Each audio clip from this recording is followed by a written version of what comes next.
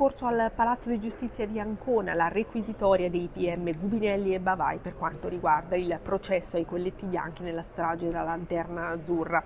Eh, nove gli imputati, eh, sono sei membri della commissione di pubblico spettacolo che quella sera autorizzarono eh, l'evento e poi anche i due tecnici e il gestore del locale. Probabilmente questa sera nel tardo pomeriggio arriveranno le eventuali richieste di condanna, mentre invece la sentenza arriverà non prima di metà gennaio.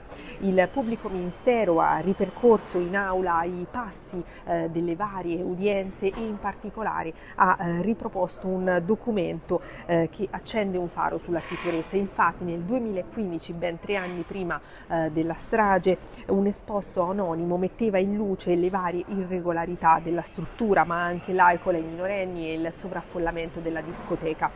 E allora diceva eh, l'anonimo nel suo documento soltanto una strage potrà fermare questa illegalità. Eh, va da sé come la rabbia dei familiari eh, sia eh, naturalmente infinita. Abbiamo sentito le parole di Fazio Famini, papà di Emma, eh, una delle giovanissime vittime di quell'8 dicembre del 2018 quando persero la vita cinque minori e una mamma di 39 anni. Sentiamo. Era molto circostanziata, era una lettera in in cui eh, vengono fatte denunce eh, di vari aspetti che non andavano. E, eh, sapere che il comune di Corinaldo eh, avrebbe avuto la possibilità di far luce e di chiudere quel locale definitivamente, non averlo fatto chiaramente fa crescere la nostra rabbia.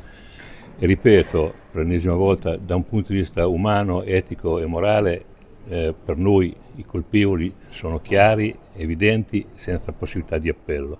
Da un punto di vista giuridico non spetta a noi eh, fare i giudici e il giudice deciderà come ritiene giusto in base alla legge. Da un punto di vista morale, persone che per anni fanno finta di, di niente è una cosa veramente assurda e insopportabile e inconcepibile che rende il nostro dolore eh, in, da questo punto di vista assume un aspetto diverso perché si, assume, si assomma una rabbia incredibile perché uh, se qualcuno, se, se, le varie persone che hanno avuto in mano questa pratica avessero fatto non completamente il loro dovere, ma minimamente il minimo indispensabile, il locale sarebbe stato chiuso e noi avremmo avuto i nostri figli a casa e, e tutto questo non sarebbe successo.